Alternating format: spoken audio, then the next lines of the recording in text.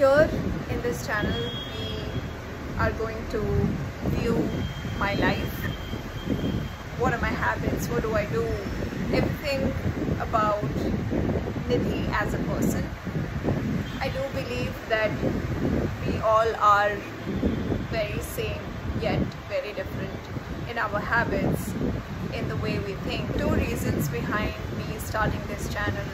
I want to document my life also to create a social media presence i have always meant to start something of my own that is consistent. Not only for my requirement but also to help you all with connecting. Can pick up a few things here and there. I can also be a source of inspiration. I'm not a master of one thing definitely the one who's jack of all trades who likes to do a multiple things. What am i here for? This first video that i wanted to talk about. So i'm someone who was not always the way i am right now or you may see in the in the series of getting to know me and my life and there were some conscious efforts lot of subconscious habits to be removed or to continue with. Once you're 30, it is the peak time that you take, start taking care of your health. Till few years back, I wasn't very serious. The major reason being, I am still 20. I still have a lot of years ahead of me, but time jolly flies. There was an interesting video that said, let's assume you're 40 year old now. Aim to live another 30 years, healthy 30 years of your life around 10,000, 11,000 days. It did give me a different way to look at life. They start working on ourselves.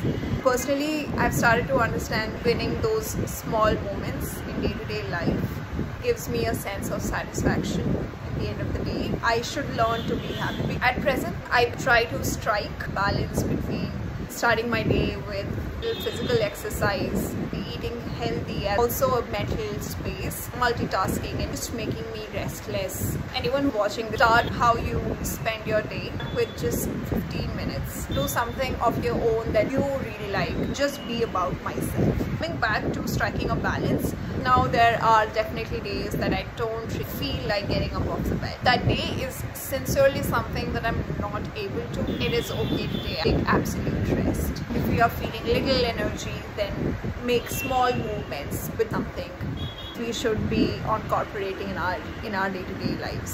This channel again i am not going to say anything new.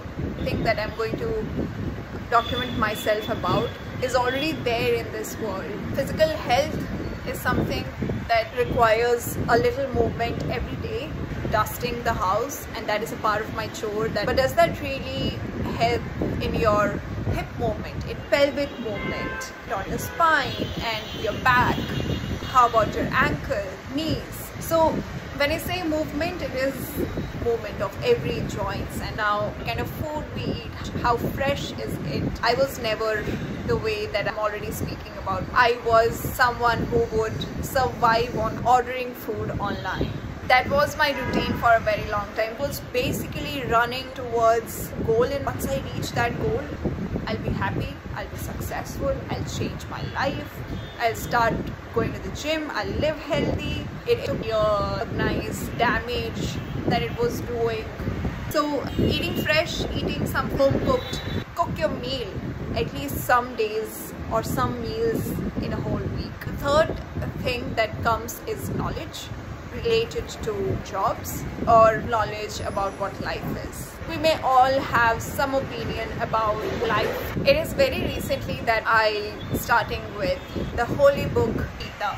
Before when I used to read, I would never be able to relate. Now it is very interesting. I would recommend you reading your holy book. That's something that I'm trying to incorporate in my day-to-day -day routine along with eating healthy physically physical movements as well as and moving physical movements of each joint of our body and reading our holy book. I wouldn't deny that gossiping is no fun. Learning from others' mistakes, gossiping does sometimes help us uh, recognize those. There are so many literatures. You can just start with reading the holy book of your own choice or something that you follow. There's Gita, Quran, Bible.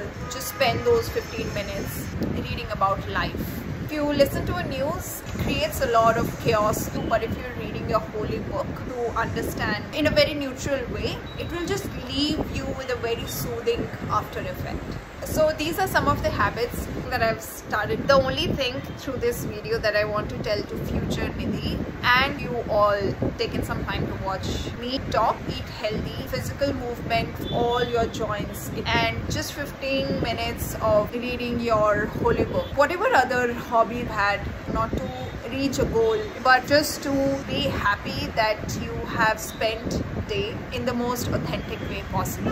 You have been the best version. All right that is it for my end. Thank you. Bye